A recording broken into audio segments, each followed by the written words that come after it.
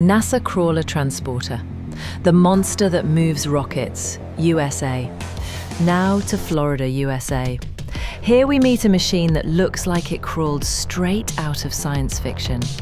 NASA's Crawler Transporter. This is the largest self-powered land vehicle in the world.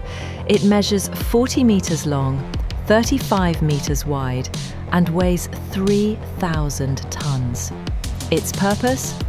To carry humanity's most powerful rockets, Saturn V, the Space Shuttle, and now the Artemis SLS rockets, from NASA's Vehicle Assembly Building to the launch pad.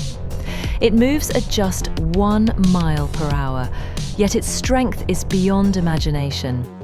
Each track weighs 90 tons, and to move even a single mile, it burns through 128 gallons of diesel fuel. The sight is surreal. A massive rocket, taller than the Statue of Liberty,